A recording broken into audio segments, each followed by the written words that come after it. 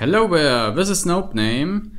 It's been a while since I uploaded uh, videos. Um, it's currently exam time at university and since I have some difficulties um, to get prepared for the next exam, I decided to work on this project again. Um, yeah.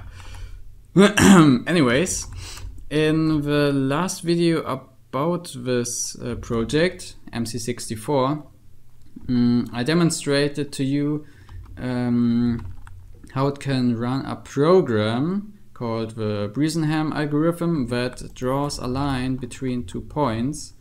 But I didn't have a working screen at that time, so that program simply, um, yeah, printed the um, coordinates in chat um, with these numbers here in between so you can see the separated coordinates and I had to draw it here to um, demonstrate that it actually is a line. Anyways, I now have a working screen. I only have implemented the most basic features yet uh, so far, but um, yeah, you can see this program just generated this line here. But let's um, remove it again and edit the program. This is pretty much the same program as I showed in the previous video. Oh, and in case you don't know what's going on here, um, I'm working on a virtual computer inside Minecraft, only using functions and NBT data in Minecraft. So the code of actual game isn't modified. Um, if you download this map, will, uh, there's a map download in the description, not for this version unfortunately though, because it's still in development so you won't have a screen. But if you download it you can write programs uh, and you can calculate numbers and print them in chat.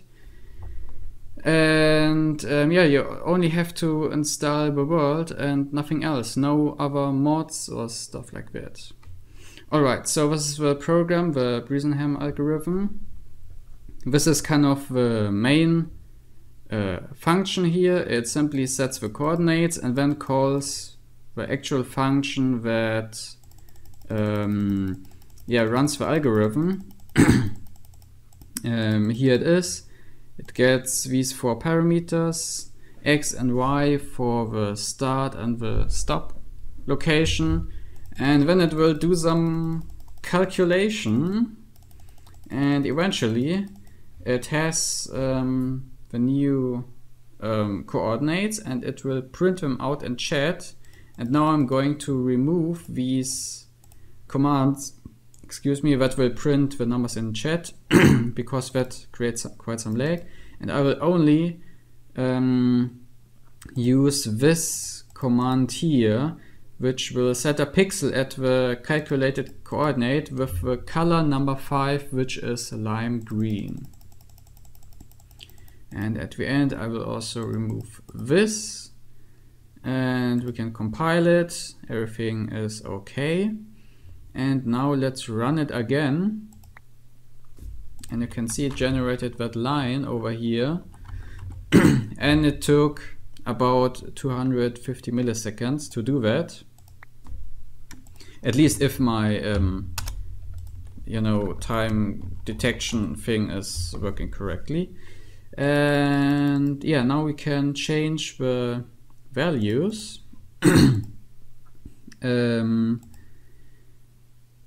x1 equals let's say 23 and y1 equals um, zero.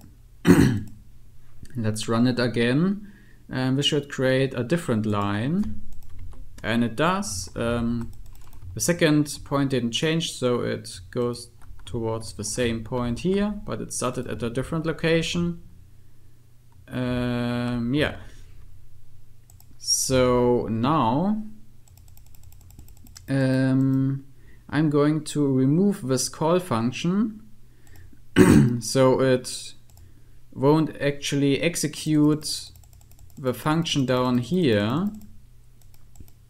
Instead, I will now use the internal virtual GPU, how I call it.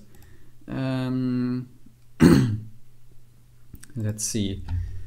And yeah, it has an integrated function that uh, draws lines that can draw lines and I think, I hope it's more efficient than the algorithm implemented inside this MC Basic program. I'm calling this programming language MC Basic and now I lost track of variables. Yes, okay, that's uh, good and why.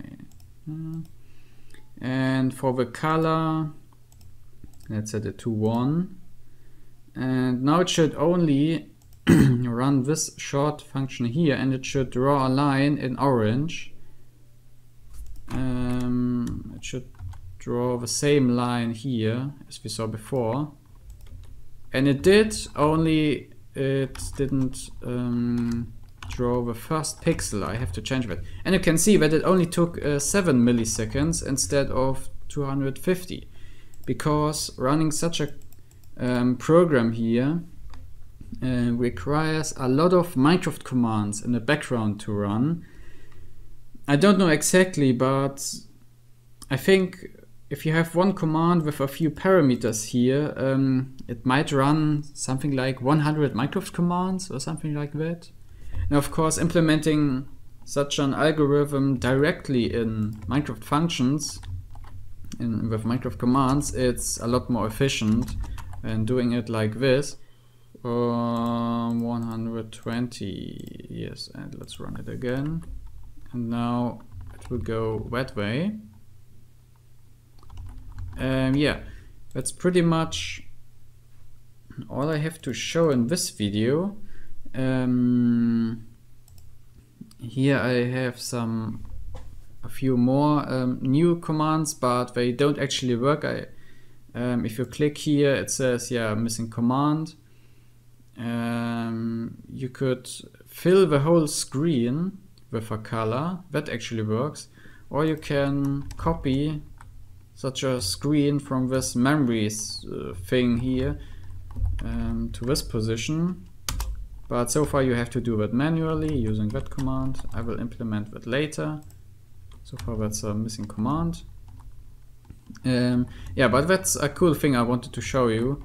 Um, yeah, you can draw lines on the display and you can either um, you know, implement it using MC Basic like this, which is kind of slow, or you can use the internal GPU function which will do the same thing, but a lot more efficient. Alright, that's it for this video. I hope you enjoyed it. And yeah, see you next time. Bye.